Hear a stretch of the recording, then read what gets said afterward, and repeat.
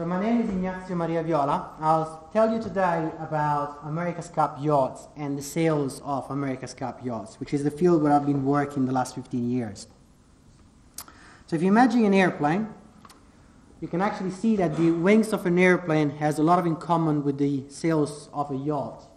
If you take the wing and you take a section of the wing, you will see a foil. This foil here. And so what we would like to do now is to look at the forces which are experienced by this foil. The foils will experience a wind coming forward and it will generate two forces typically, the lift and the drag. The lift is what brings the airplane up and sustain the weight and the drag is what you have to overcome with the power of your engine. So that means that the lift over drag ratio is a sort of a measure of your efficiency. So it means basically that for the same weight, you will need more or less fuel to move forward with your airplane. So the lift over drag ratio is the key parameter that shows you the efficiency of the foil. The other interesting thing is that if we want to compute or predict these forces, we need to solve this equation. And what this equation tells you is that the lift and the force only depends on two different things, the shape of the foil and the Reynolds number.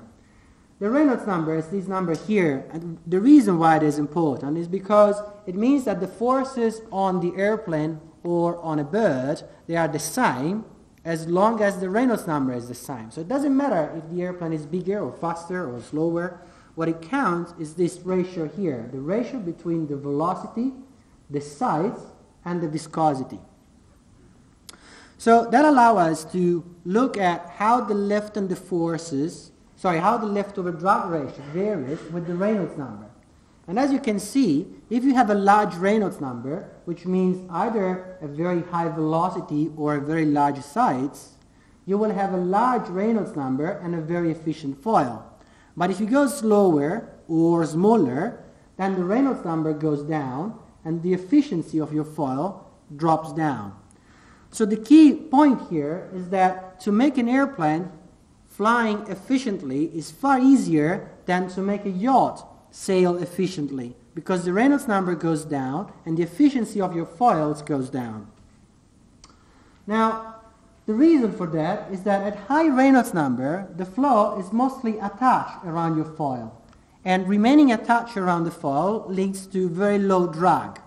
On the contrary, if you go low Reynolds number, the flow will separate more easily from the foil. You will have a large region of low speed and the drag increases. And that will make you a very inefficient. So let's look at the America's Cup yachts now. If you look at the 1980s typical America's Cup yachts, you will see that there is one big sail, which is the mainsail, which really much resembles the wing of an airplane. It works pretty much in the same way. But then you have this very strange sail, which is smaller and is called spinnaker, or it used to be smaller in some conditions at least. But even if it was smaller, the amount of thrust that these sails generate could be enormous, much bigger than the one generated by the mainsail. Now, in the 1980s, these sails were not particularly efficient because, we, as we said, it is difficult for a sail which is slower and smaller than the wing of an airplane to have attached flow. In fact, if you do experiments, you see the flow coming, uh, this one is a, a, horizontal section of your sails. This one will be your mainsail, and this one will be your spinnaker. The flow comes from the top, goes around the spinnaker, but then it separates and generates a region of low speed and high drag. And this is not efficient, increases the drag for the same amount of lift.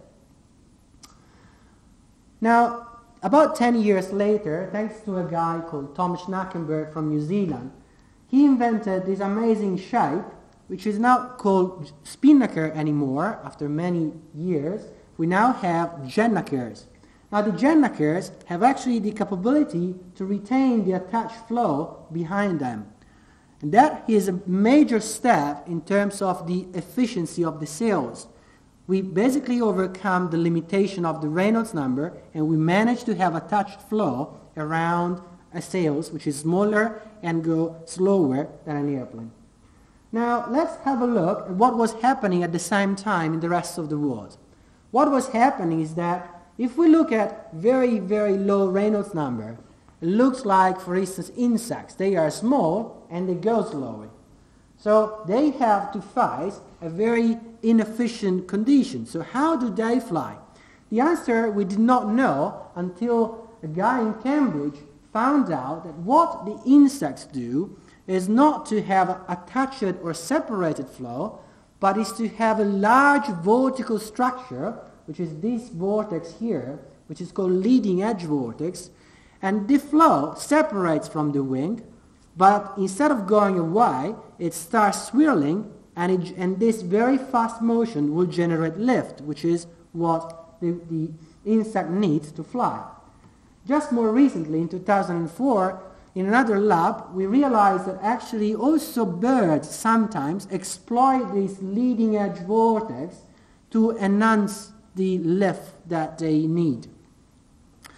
So let's go back again to the original plot. That shows you that this curve does not go down to zero, but actually there is a way to generate lift even at very low Reynolds number.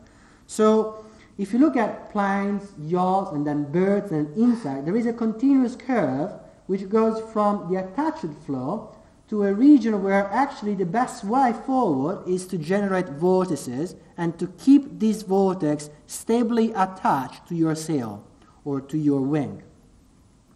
So the question we have now, do our cells exploit this mechanism or they don't? So what happened when I was doing my PhD, it was not 2000, but it was in that decade. And this one is an example of what uh, during those years we were capable to do. Basically, it was the years where it was starting to have supercomputers, and America's Cup team started to exploit these computational resources to perform very high performance simulations. And this one in particular is the first 1 billion cells numerical simulations ever performed, which was one of the outcome of my PhD. So from here, we develop typically the knowledge we need to design cells. Now, every roughly three years, the power of a computer increases by 10 times. So what you see, and you can imagine here, is that this numerical simulation now is far more advanced than the previous one, even if you don't notice that. But what this numerical simulation 10 years later allow us to do is to actually realize that the flow does not just go around the sails, but indeed generates a leading edge vortex, which improve the amounts of lift that we use when sailing. This is quite amazing. You can imagine that a particle of flow coming along this line will be entrapped inside this vortex and while it is flying almost horizontally here, when it fits inside the vortex, it will change completely direction and it will start to climb up towards the head of the sails. So the particle flow moving horizontally, then it's trapped into the vortex and just goes up.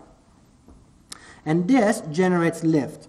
You can see that also in this example, where you can see the particle flow coming from here when you watch the, the, the sailing yachts from the top, which is entrapped into this leading edge vortex and climbs down. Now, what it is extremely interesting here is that all of this was found just thanks to large supercomputer. But was that reality? Does it really happen in real life? Well, this simulation here was performed in 2014, so not so many years ago. And it takes some time for science to actually find out a way forward to measure something so detailed and specific to be able to actually give proof that this is reality and not just the effect of numerical simulations.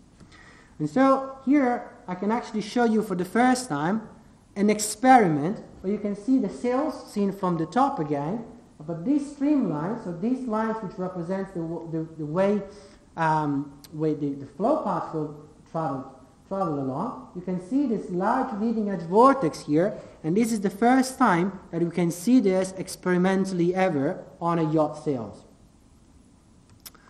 So let me thank my research group, which has allowed to all of this research to happen, and also the three America's Cup teams that I've been working with and those simulations I refer to.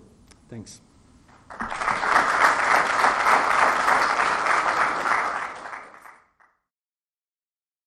This production is brought to you by the University of Edinburgh.